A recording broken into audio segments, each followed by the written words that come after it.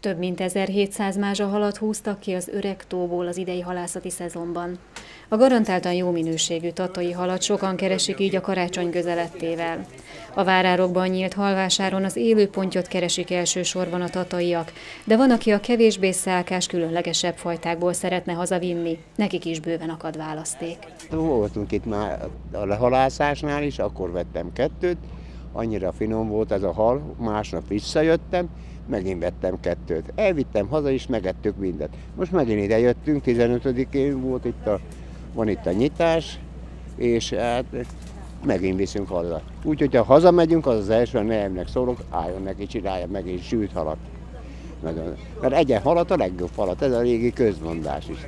Most pontyot viszünk, hát azt szeretjük a pontyot. Az az, az igazi, abból jó halászét is lehet csinálni, úgyhogy hát megcsinálunk mindent, amit csak lehet belőle. Mindent felhasználunk, úgyhogy most visz, viszem Tatabányára, mert onnan jöttünk át, direkt ez véget, mert nagyon finom, jó minőségű haluk van nekik, úgyhogy ezt ajánlom mindenkinek.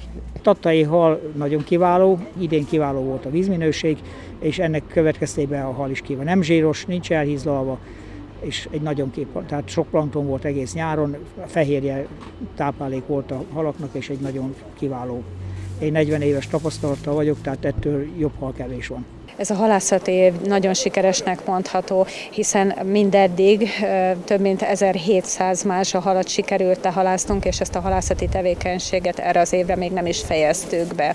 A tataiak megszokták a jó minőségű, finom halnak a, az árusításának a lehetőségét, illetve a vásárlás lehetőségét, és ezt most is tudjuk nekik biztosítani itt Tatán a várárokban. Minden nap, 13 december 13-ától 23-áig minden nap 10-től 17 óráig. Elsősorban a tataiak a pontyot keresik, hiszen ez adja a karácsonyi halfogyasztás 80%-át. Ugye ebből a klasszikus halászlevet, illetve a rántott halat szokták a háziasszonyok elkészíteni. Ezen kívül még keresett a harcsa, a keszekfélék és a különféle fagyasztott áruk is.